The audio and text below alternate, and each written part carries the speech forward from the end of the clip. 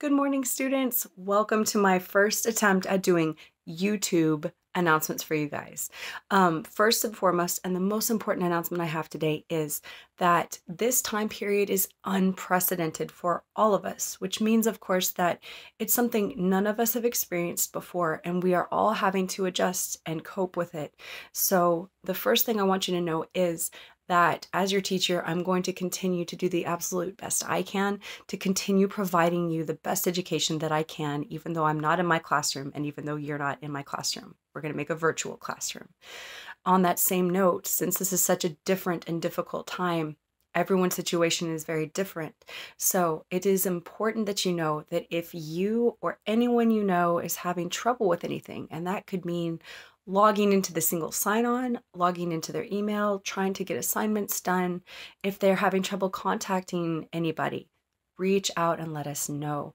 You can email me, you can drop me a comment, you can write me a message in Google Classroom. There's so many ways to reach out to me if you or anyone you know is having trouble. Um, and that extends to things you might be having trouble with outside of school. If anyone you know is having trouble having access to supplies or food or anything like that, please let one of your teachers know because we can reach out to the right people who can get help to other people. All right. So we're in this together, you guys, and we need to help each other through it. We can do it if we work together. All right. As far as academic announcements go, first of all, you mm-hmm. had a reading this week. All right. And I've provided it in three different ways three. So I'm hoping that out of those three, at least one of them has reached you. Way number one in Google Classroom, there's a PDF file. And yes, you have to click on it. Um, when you click on it, it pops up like a book and you should be able to read it. So, again, way number one PDF file in Google Classroom. Way number two, in the paper packets that Mrs. Tovar handed out on Wednesday, there is a copy of the chapter. So, again, way number two is a physical copy in the packet.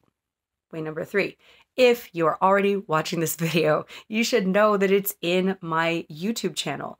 If you go back to my YouTube channel, you'll be able to find a reading that I've given you guys of the chapter with my voice and the words on the entire screen. So if you haven't been able to do it in any other way this week, guys, oh my gosh, go back and click on that video, give it a listen, and you'll be done with your reading for this week. Now, by one o'clock today, I intend to have a uh, choice board assignment that goes with the reading and with what we were talking about with Atlantis before the break. So stay tuned for that. I would like for that to be turned in if you're already seeing this and if you've been checking in with me by Monday, because Monday I will have a new assignment up.